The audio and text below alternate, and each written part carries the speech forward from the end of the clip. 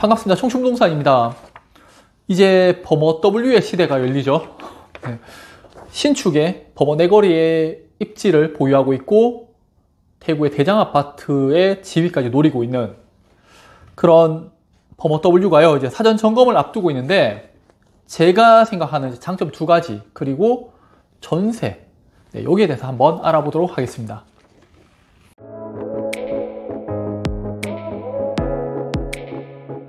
범어 W의 가장 큰 장점은요, 바로 교통, 그리고 추후에 생길 환승역입니다. 최근에 환승역으로 입지를 다지고 있는 청라운동역 생각하시면 되는데요.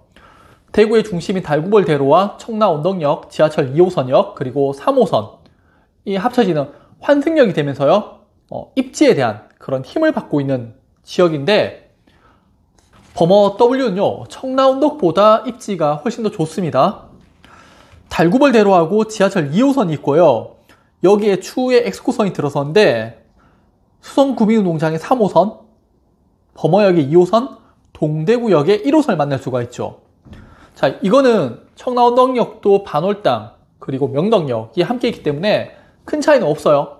다만 범어는요 KTX역인 동대구역과 만난다는 겁니다. 대구시의 2030 기본 계획은요 제4차 국가 철도망 구축 계획과 함께 하기 때문에요. 기차역과 연결된다는 것은 상당한 메리트가 될 겁니다. 두 번째 장점은 바로 오렌지색으로요. 수성구청과 수성경찰서입니다. 범어 W는 이 관공서로 인해서 범어 사동의 학원가와 단절된 느낌이 있었어요. 수성구청은 이전할 예정이지만 시일은 좀 걸릴 거예요. 10월부터 수성구청 청사 이전 타당성 조사 용역에 들어갔고요.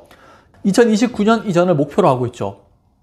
수성구청과 수성경찰서가 이전하고요. 그 자리에 주당 복합이나 상가가 들어서게 되면요. 범어 W는 범어 사동의 학원과 이어지면서 범어 내거리부터 만촌 내거리까지 그 가치는 더 올라갈 것으로 예상이 됩니다. 다만 입주를 앞두고 있다는 시점에서 전세가 너무 많다는 그런 걸림돌이 있어요. 한 1300세대 중에서 전세 350개 정도는 뭐 그렇게 큰 비중은 아니에요. 근데 절대적인 숫자로 350개면 상당히 많은 거죠.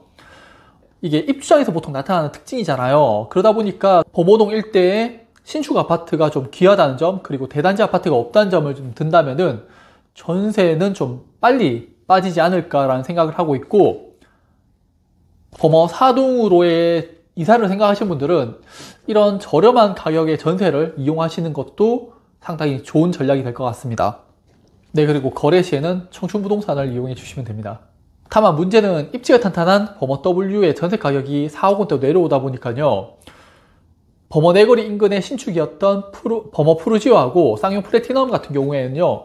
전세가가 3억 원대까지 떨어졌는 것을 확인할 수가 있습니다.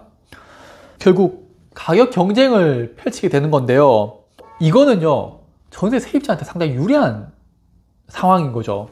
그래서 저는 이번 기회를 꼭 노리시라고 말씀을 드리고 있는 겁니다. 개인적인 생각으로 범어 W가요, 10월 말 이전에 어, 학군지가 결정되기 전에 좀 입주를 시작했다라면요, 아마 빠르게 소진됐을 거예요, 전세가. 그런데 입주가 12월이기 때문에 시간은 좀 걸릴 건데 전월세를 고려하시는 분들은요 범어동은 늘 공급이 좀 부족한 입지라는 점을 생각하신다면은 지금 현재 가격이 저렴할 때 빨리 계약하시는 것도 좋은 전략이 될 거라고 생각합니다. 오늘 영상 또 봐주셔서 감사하고요. 네, 다음번엔 또 다른 영상으로 찾아뵙도록 하겠습니다. 감사합니다.